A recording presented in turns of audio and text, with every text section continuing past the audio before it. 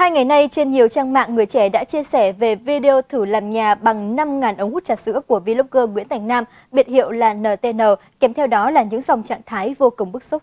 Trong video được đăng tải trên fanpage của mình, vlogger này chia sẻ, với ý tưởng là ống hút khổng lồ nên phải đặt về rất nhiều ống hút, và có thể đây sẽ là ngôi nhà ống hút lớn nhất thế giới. Không những thế, chàng vlogger này còn hứa hẹn nếu video này được 200.000 like thì anh sẽ thực hiện thử thách 24 giờ sống trong ngôi nhà làm bằng 5.000 ống hút này.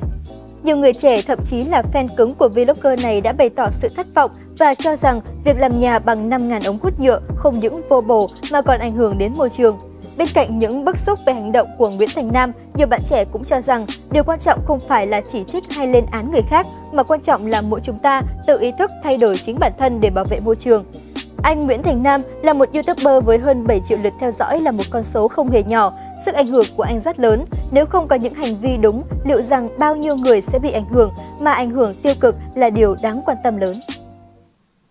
Mặc dù trên thực tế hiện tại, mỗi ngày, mỗi người chúng ta cũng có rất nhiều hành động đang dần hủy hoại môi trường, nhưng điều đáng nói là hành động làm nhà bằng 5.000 ống hút nhựa của vlogger này là vô bổ và còn vô tình khuyến khích mọi người sử dụng ống hút nhựa một cách vô tội vạ. Thế nên những người có sức ảnh hưởng trong cộng đồng nếu có thể hãy lên tiếng nói tích cực bảo vệ môi trường, chứ đừng nên khuyến khích tiêu cực như thế.